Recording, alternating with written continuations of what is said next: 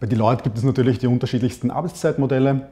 In meiner Position als Manager habe ich einen All-In-Vertrag. Ich mag, dass es sehr abwechslungsreich ist. Das bedeutet zum Beispiel, an einem Tag habe ich drei Kundentermine und auf drei Projekten und reise im Prinzip durch Wien von Kunde zu Kunde und muss immer wieder im Kopf umdenken. Und am nächsten Tag bereite ich das Ganze nach und sitze den ganzen Tag im Büro. Wenn einfach mal mehr zu tun ist, wenn der Klient etwas dringender braucht, dann, dann bleibt man länger.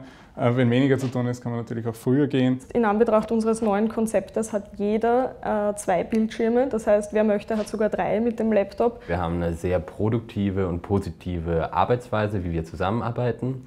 Das ist auch bedingt durch unser Open Workspace Konzept, in dem wir mit unterschiedlichen Abteilungen, zum Beispiel aus dem Human Capital Advisory, auf einem Stockwerk zusammenarbeiten und so auch mit anderen Bereichen immer in den Austausch kommen. Die Lage von Deloitte ist natürlich ein riesiger Pluspunkt. Das heißt, es macht äh, natürlich Spaß, im ersten Bezirk zu arbeiten, einfach wirklich gut erreichbar zu sein, einfach äh, auch eine Fülle von, von Restaurants zu haben. Benefits, die wir haben, sind die Mittagsessensbons. Das macht, glaube ich, auch den meisten Mitarbeitern Mitarbeitern eine große Freude im ersten Bezirk, wo die Preise teilweise doch gehoben sind. Bei uns gibt es auch Mitarbeiterhandys, ähm, die jedem zur Verfügung stehen. Das vereinfacht ganz einfach die Kommunikation und als äh, Fringe Benefit stehen sie uns auch äh, zur privaten Nutzung zur Verfügung.